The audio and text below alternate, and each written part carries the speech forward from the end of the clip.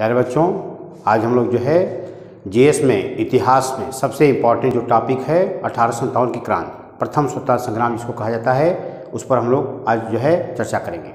ठीक है? देखिए, ओके।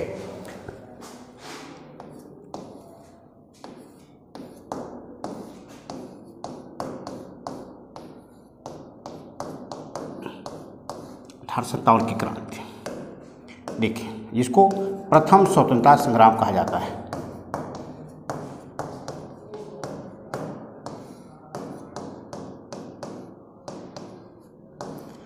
प्रथम स्वतंत्रता संग्राम क्यों कहा जाता है इसको प्रथम स्वतंत्रता संग्राम क्योंकि भारतीयों ने पहली बार अंग्रेज़ों के दोषपूर्ण शासन व्यवस्था से मुक्ति प्राप्त करने का प्रयास किया था, स्वतंत्र होने का प्रयास किया था, ब्रिटिश शासन के दौरान। और जो है, ये ठीक है, अनेक कारणों से ये सफल नहीं हो पाया, लेकिन ये क्रांति जो है, इसके परिणाम भविष्य में ये दिखाई पड़ा कि हम लोग भारत छोड़ो आंदोलन इसी के प्रेरित होकर के किए और तीन साल के लगातार प्रयास के बाद जो है, हम अंग्रेज़ों के दोषपूर्ण शासन व्यवस्था से मुक्ति प्राप्त स्वतंत्रता प्राप्त हुई। तो सबसे पहले यहाँ पर हम लोग बात करेंगे कि क्रांति का मतलब क्या होता है। क्रांति क्या है? देखिए, क्रांति क्रांति का अर्थ अर्थ क्या होता है? क्रांति का अर्थ क्या होता है? क्रांति का अर्थ होता है कि अमूल चूल परिवर्तन, अमूल चूल परिवर्तन। अमूल चूल परिवर्तन। अर्थात पूरी तरह से बदलाव हो जाना। अच्छाइयाँ पूरी जो है, पूरी तरह से इतनी बुराइयाँ जो है, अच्छाई में बदल जाए कि पहचानना मुश्किल हो जाए। वो किसी भी क्षेत्र में हो सकता है। क्रांति जो है, सामाजिक परिवर्तन में हुआ है, सामाजिक क्षेत्र में हुआ है, सामाजिक क्रांति। धार्मिक क्षेत्रों में हुआ है, धार्मिक क्रांति। आर्थिक क्षेत्रों में हुआ है, आर्थिक क्रांति। वो किसी भी क्षेत्र में क्रांति हो सकती है। तो क्रांति का जो है, यहाँ अर्थ हुआ कि वर्तमान व्यवस्था या विचार में परिवर्तन लाने के लिए जो कार्य किए जाते हैं, उसे क्रांति कहा जाता है। और क्रांति सामाजिक, धार्मिक, आर्थिक, राजनीतिक कुछ भी हो सकती है, किसी भी क्षेत्र में हो सकती है। सामाजिक क्रांति सामाजिक क्षेत्र में बदलाव लाने की की गई। अब भारत तो विश्व का ऐसा देश है, जिसमें हर प्रकार की क्रांति हुई है। सामाजिक, धार्मिक, आर्थिक, राजनीतिक। लेकिन अठारह की क्रांति जो है, राजनीतिक क्रांति है, राजनीतिक क्रांति है। ये ध्यान रखिएगा। क्यों राजनीतिक क्रांति है? क्योंकि शासन व्यवस्था में बदलाव लाने के लिए की गई थी। राजनीतिक क्रांति है। राजनीतिक क्रांति। शासन व्यवस्था में बदलाव लाने की इसके पहले जो है, आपके इंग्लैंड में सबसे पहले राजनीतिक क्रांति हुई थी सोलह में। अमेरिका में राजनीतिक क्रांति हुई थी सत्रह सौ छिहत्तर में।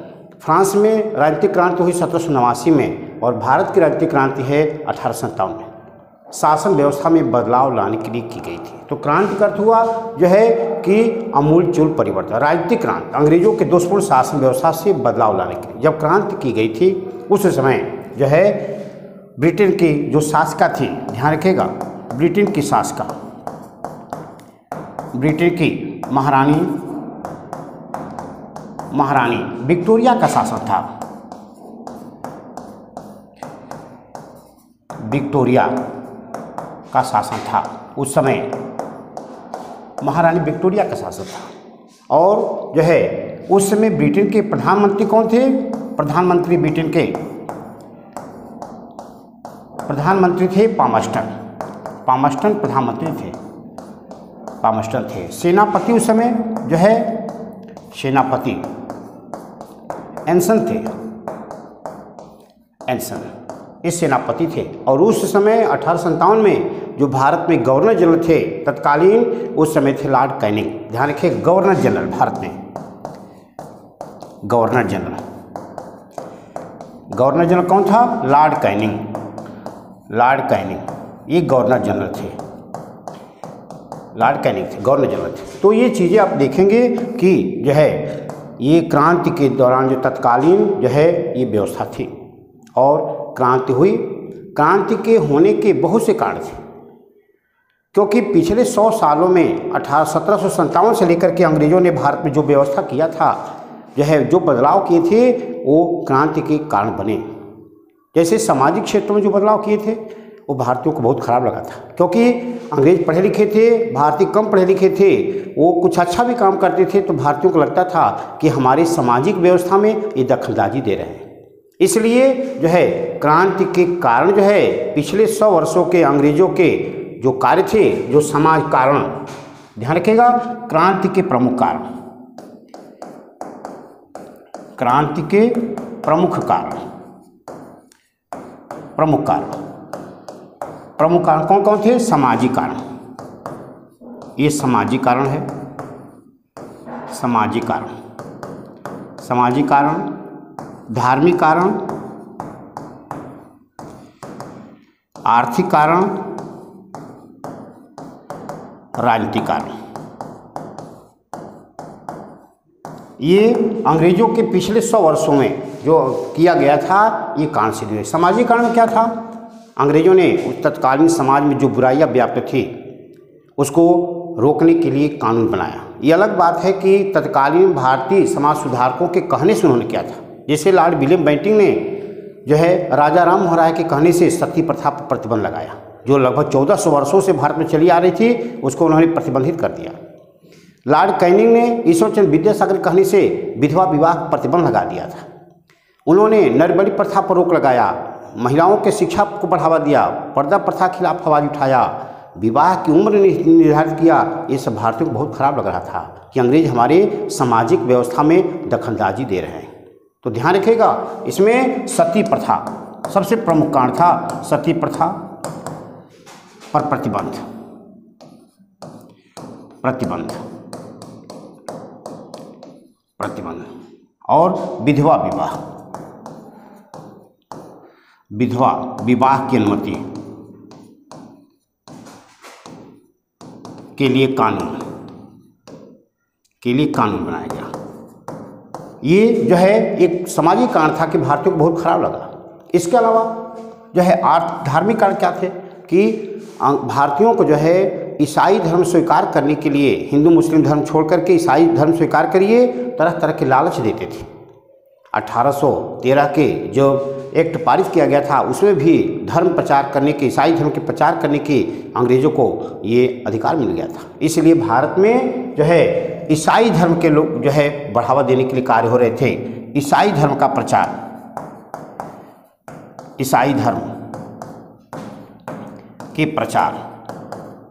प्रचार हो रहा था और हिंदुओं के साथ जो है, जो सेना में भी थे, उनके साथ भेदभाव होता था। उनके माथे पर तिलक लगाने पर प्रतिबंधित कर दिया गया था, जिसके कारण जो है बेलोर में 1806 में सैनिकों ने विद्रोह किया था, धर्म के आधार पर।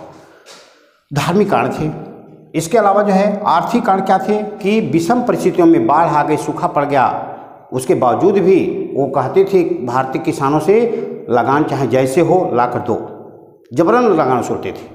और जो है, सैनिक जो जो है थे, उनको कम वेतन देते थे। अंग्रेज़ सैनिकों को ज़्यादा देते थे, भारतीय सैनिकों को कम देते थे। भेदभाव करते थे। समान कार्य के लिए समान वेतन नहीं देते थे। भारतीय सिपाहियों का प्रमोशन भी नहीं होता था। और जो है, वहीं से वो जो है रिटायर हो जाते थे। जबकि सबसे बड़ी जो बात थी, वो ये थी कि विषम परिस्थितियों में लगान जबरन वसूल करना, भारतीयों के लिए न देने पर उनको जो है, घर कुर्की कर लेना, मारने पीटना, ये बहुत बड़ा कारण सिद्ध हुआ था। ये आर्थिक कारण, जबरन लगान वसूलना। ध्यान रखेगा, जबरन लगान वसूलना। वस, जबरन लगान वसूलना। और समान पद पर कार्य करने के लिए समान वेतन देना। एक भारत, क्योंकि अंग्रेज़ों के उद्देश्य था लाल मैकाले के 1835 की शिक्षा नीति का, कि भारतीयों को केवल उतना ही पढ़ाओ कि वो केवल जो है चपरासी क्लर्क सिपाही बन सके। इतना न पढ़ा दो कि हम ही पर शासन करने लगे। इसलिए इसी को ध्यान रखेगा जो है कि समान पद के लिए के लिए समान वेतन न देना। समान वेतन न देना। एक बहुत बड़ा कारण था न देना। ये भारतीयों को मतलब गुस्सा एकत्र हो रहा था। और सबसे प्रमुख कारण था, राजनीतिक कारण में ध्यान रखिएगा कि जो है योग्य होते हुए भी भारतीयों को महत्वपूर्ण पदों पर नियुक्ति नहीं की जाती थी। लार्ड डलहौजी ने हड़प नीति के अंतर्गत बहुत से राजाओं के जो है संपत्ति को हड़प लिया था, जो जो है दत्तक पुत्र थे, जिसे नाना साहब थे, बाजीराव द्वितीय के पुत्र थे, दत्तक पुत्र उनको, उनकी संपत्ति हड़प लिया। बेगम हज़रत महल लखनऊ के, उनके दत्तक पुत्र को जो है वारिस मानने से डलहौजी ने इनकार कर दिया। अवध और पंजाब को दोषपूर्ण शासन व्यवस्था के आधार पर उनको ब्रिटिश साम्राज्य शामिल कर लिया। ये भारतीयों को मन में गुस्सा हो रहा था। उसी तरह लॉर्ड ब्लेजली ने सहायक सन चलाया ये कारण जो है, ये सबसे बड़ा कारण हुए कि साम्राज्य विस्तार करके साम्राज्य। विस्तार। की नीति। की नीति। हड़प नीति हड़प नीति सहायक संधि।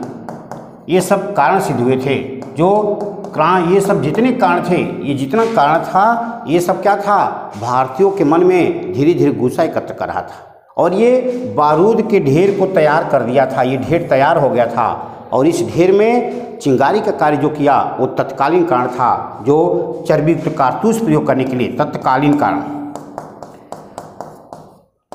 तत्कालीन कारण। तत्कालीन कारण क्या था? चर्बीयुक्त कारतूस, भारतीय सिपाहियों को चर्बी युक्त कारतूस। कारतूस प्रयोग करने के लिए प्रयोग करने के लिए मजबूर करना। प्रयोग करने के लिए मजबूर करना। मजबूर करना। ये तत्कालीन कारण सिद्ध हुआ, जो बारूद के ढेर में ये चिंगारी का कार्य किया और जो है विस्फोट हो गया। तो ये ध्यान रखेगा ये कारण जितने थे, ये क्रांति के लिए सब उत्तरदायी थे। अब नेक्स्ट बात हम लोग पढ़ेंगे कि क्रांति की प्रमुख घटनाएँ क्या क्या घटी थी। तो देखिए, यहाँ पर क्रांति प्रमुख घटनाएँ। प्रमुख घटनाएँ यहाँ पर देखेंगे आप। प्रमुख घटनाएँ। प्रमुख घटनाएँ। प्रमुख घटना में क्या हुआ? कि जो है चर्बिक्त कारतूस का विरोध जो है सबसे पहले बैरकपुर में जो है आपकी चौथी आईने बटालियन थी और उसका नेतृत्व मंगल पांडे कर रहे थे। उनके नेतृत्व में जो है स्पष्ट सैनिकों ने मना कर दिया, हम कारतूस का प्रयोग नहीं करेंगे। तो अंग्रेज़ों ने मंगल पांडे को अरेस्ट कर लिया और जो है, उनकी पिटाई की गई, जिसे घुसा करके उन्होंने अपने अधिकारी को जनरल बाग की गोली से हत्या कर दिया था और सर्जेंट हेरसन को घायल कर दिया था। मंगल पांडे को अरेस्ट किया गया और उनको 29 मार्च को अरेस्ट करने के बाद जो है 8 अप्रैल को फांसी दे दी गई। मंगल पांडे प्रथम भारतीय थे, जिन्हें फांसी दी गई थी। ये ध्यान रखिएगा। मंगल पांडे प्रथम भारतीय थे, ध्यान रखिएगा। ये कैंसिल कर। देखिए, प्रमुख घटनाएँ बैरकपुर में। बैरकपुर में जो है, मंगल पांडे को, मंगल पांडे को जो है, आठ अप्रैल, अठारह संतावन को फांसी दे दी गई। फांसी दी गई। दी गई थी? दी गई थी। इसके प्रतिक्रिया में, ध्यान रखिएगा, इसके प्रतिक्रिया में मेरठ के जो सैनिक थे, प्रतिक्रिया में मेरठ के सिपाही जो ब्रिटिश सेना में थे, मेरठ के सैनिक जो है, अंग्रेज़ों से बदला लेने के लिए उन्होंने निश्चय किया कि हम लोग दिल्ली चलेंगे और अंग्रेज़ी शासन व्यवस्था उखाड़ फेंकेंगे। इसलिए मेरठ मेरठ के सैनिक जो है मेरठ के सैनिक जो है, ये प्लान बनाए थे कि 31 मई को 31 मई डेट रखे थे 31 मई को जो है दिल्ली पहुंचकर दिल्ली पहुंचकर अंग्रेज़ी शासन व्यवस्था समाप्त कर दिया जाएगा। अंग्रेज़ों के शासन शासन व्यवस्था समाप्त किया जाएगा। समाप्त किया जाएगा। किया जाएगा। लेकिन मेरठ के सिपाही जो है, उनतीस सैन्य बटालियन थी, इतने गुस्से में थे कि 10 मई को वो दिल्ली चल दिए। और 12 मई को दिल्ली पहुँच करके जो है, दिल्ली पर अधिकार स्थापित कर लिए लाल किले पर बहादुर शाह ज़फ़र को भारत का सम्राट घोषित करके उनके झंडे फहरा दिए। तो जो है, यहाँ ध्यान रखेगा समाप्त किया जाएगा। लेकिन 10 मई को ही 10 मई को को, मेरठ से मेरठ से क्रांति प्रारंभ हो गई। क्रांति प्रारंभ प्रारंभ हुई। प्रारंभ हुई थी। और 12 मई को, सबसे महत्वपूर्ण दिन है 12 मई को, दिल्ली पर जो है क्रांतिकारियों का अधिकार।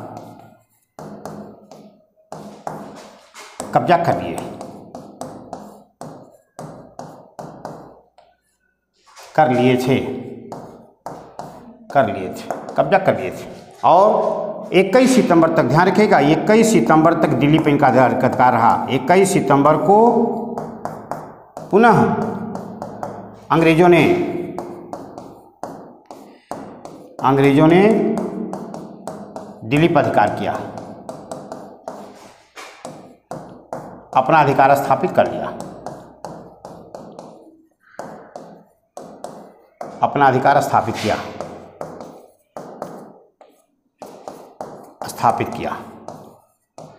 अब देखिए, समझ बात है कि दिल्ली के बाद जो है क्रांति की घटनाएँ अन्य स्थानों पर शुरू हो गई।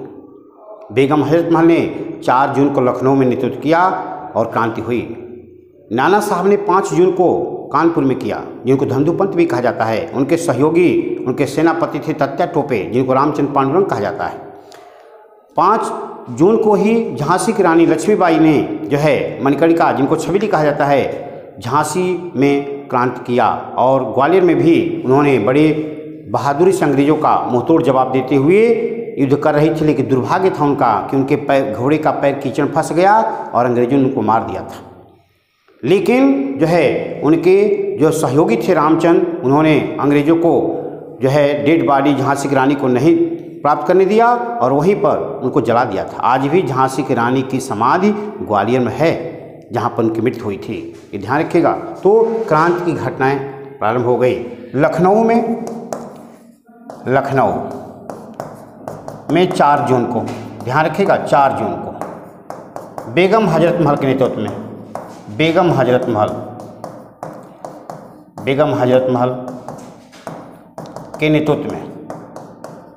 नेतृत्व में कानपुर में कानपुर में पाँच जून को, पाँच जून को नाना साहब के नेतृत्व में, नाना साहब थे यहाँ पर, के नेतृत्व में। और जो है, पाँच झांसी में झांसी में भी पाँच जून को ही, झांसी में जो है पाँच जून को कौन किया भाई लक्ष्मीबाई के नेतृत्व में। लक्ष्मीबाई के द्वारा जो है क्रांति की घटनाएँ घटित हुई। इसी तरह देखेंगे इलाहाबाद में 21 जून को लियाकत तरीके नेतृत्व में क्रांतिकारियों ने अंग्रेज़ों को बहुत परेशान किया और सबसे ज़्यादा परेशान किए थे जो है आपके जगदीशपुर के नाना साहब थे जो है जिनको बिहार का शेर कहा जाता है। वृद्ध थे इक्यासी वर्ष के, लेकिन अंग्रेज़ों को बहुत परेशान किए। अंग्रेज़ उनको पकड़ नहीं पाए थे ज़िंदा। बहुत प्रयास किए थे। लेकिन वो पकड़ नहीं पाए। तो और लक, जो है, जगदीशपुर में जगदीशपुर में कुंवर सिंह कुंवर सिंह कुंवर सिंह फैजाबाद में फैजाबाद में मौलवी अहमदुल्ला अहमदुल्ला मौलवी अहमदुल्ला ने अंग्रेज़ों को बहुत परेशान किया, क्योंकि अंग्रेज़ों ने इनको बंदी बनाने में सहयोग करने वाले को पचास हज़ार रुपये की इनाम राशि घोषित किया था। इन्होंने अंग्रेज़ों को इतना परेशान किया था। क्रांतिकारी, क्रांति के प्रचार प्रसार के लिए एक दूसरे से जब मिलते थे तो कमल के फूल और रोटी चपाती भेंट करते थे। ये क्रांति का प्रतीक बन गया था, ध्यान रखिएगा। क्रांति का प्रतीक। क्रांति का प्रतीक बन गया था, क्या बना था?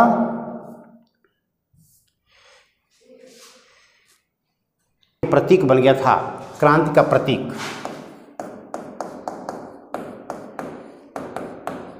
प्रतीक था कमल के फूल, कमल के लाल फूल लाल फूल और रोटी, चपाती, ये क्रांति का प्रतीक बन गया था। क्रांतिकारी एक दूसरे को भेंट करते थे जब मिलते थे। भेंट करते थे जब मिलते थे। क्यों? क्योंकि जब हमारी जो है, हम कमल के फूल की तरह तभी खिलेंगे जब हमारी रोटी सुरक्षित रहेगी। इसका तात्पर्य था। और जो है, एक दूसरे को भेंट करते थे। तो क्रांति की घटनाएँ चलती लेकिन अंग्रेज़ों ने अपने सैन्य बल के बदौलत, सैन्य क्षमता के बदौलत, क्योंकि उनके पास कर्नल नील, हडसन, हियरसन, रेनार्ड जैसे योग्य सेनापति थे, जिनके बदौलत जो है, उन्होंने क्रांति का दमन करने में सफल हो गए। क्योंकि भारत के जो क्रांतिकारी थे, इनमें एकजुटता नहीं थी, एक निश्चित उद्देश्य नहीं था। क्रांति समय से पहले प्रारंभ हो गई। क्रांति के कारण बहुत से कारण थे असफलता के। तो जो है, ध्यान रखिएगा असफलता के कारण। असफलता। असफलता के कारण क्या थे? असफलता के कारण। समय से पूर्व प्रारंभ हो जाना, निश्चित समय समय से पूर्व पूर्व प्रारंभ होना। प्रारंभ होना, समय से पूर्व प्रारंभ होना। इकतीस में डेट रखा गया था, दसवीं को प्रारंभ हो गया। यह है, संपूर्ण भारत में न फैलना। संपूर्ण भारत में नहीं फैलना। नहीं फैलना। कुछ भारतीयों द्वारा भारतीयों द्वारा अंग्रेज़ों का साथ देना, अंग्रेज़ों का साथ देना, सहयोग करना सहयोग करना। जैसे सिंधिया परिवार ने किया था ग्वालियर के सिंधिया परिवार। सिंधिया परिवार ने किया था। सिंधिया परिवार के और लॉर्ड कैनिंग ने कहा था, यदि सिंधिया परिवार हमारा सहयोग न किया होता तो हम लोग का बोरिया बिस्तर बंद किया होता। इतना सहयोग किए थे। तो ये क्रांति के विफल होने के बहुत से कारण थे। सबसे महत्वपूर्ण जो कारण था इसमें योग्य नेतृत्वकर्ता का भाव। क्योंकि बहादुर शाह ज़फ़र, अंतिम मुगल सम्राट, इनको क्रांतिकारियों ने भारत का सम्राट घोषित किया था, वो ठीक से नेतृत्व नहीं कर पाए। ये सबसे महत्वपूर्ण कारण था, योग्य नेतृत्वकर्ता का भाव। ये ध्यान रखिएगा जो है योग्य नेतृत्वकर्ता का भाव। ये क्रांति का एक प्रमुख जो है कारण था, का अभाव होना। अभाव होना, ये सबसे बड़ा कारण था। ये सबसे इम्पोर्टेंट जो बात थी कि यदि यदि बहादुर शाह ज़फ़र ठीक से नेतृत्व किए होते तो क्रांति का परिणाम कुछ और रहा होता। फिर भी क्रांति विफल हो गई, ठीक बात है, लेकिन इसके परिणाम दीर्घकालिक सिद्ध हुए। बस, परिणाम में क्या था? जो है, देख लीजिए, क्रांति के परिणाम। क्रांति के परिणाम। क्या हुए भाई? सबसे महत्वपूर्ण बात थी, क्रांति के परिणाम परिणाम या प्रभाव। क्या हुए? जो है कि अठारह के अधिनियम के द्वारा ईस्ट इंडिया कंपनी के अब शासन व्यवस्था समाप्त कर दी गई। ईस्ट इंडिया कंपनी के शासन व्यवस्था समाप्त। ईस्ट इंडिया कंपनी के शासन समाप्त। शासन समाप्त। समाप्त। लॉर्ड कैनिंग कैनिंग को को वायसराय घोषित किया गया। वायसराय। वायसराय घोषित किया गया। घोषित किया गया। किया गया। नेक्स्ट बात क्या हुई कि साम्राज्य विस्तार। साम्राज्य विस्तार और धर्म परिवर्तन कराने की नीति जो है त्याग दिए। धर्म परिवर्तन। परिवर्तन। की नीति त्याग दिए समाप्त। समाप्त। और जो है आर्थिक शोषण। आर्थिक शोषण। आर्थिक शोषण तथा फूट डालो। फूट डालो तथा राज करो की नीति प्रारंभ। राज करो। करो की नीति। प्रारंभ। और लास्ट इसमें है कि यह सैनिक क्षमता में कटौती की गई। कटौती कटौती करते हुए एक संबंधे सात के अनुपात को अनुपात को एक संबंधे दो के अनुपात कर दिया गया। अनुपात। किया गया? किया गया। एक अंग्रेज़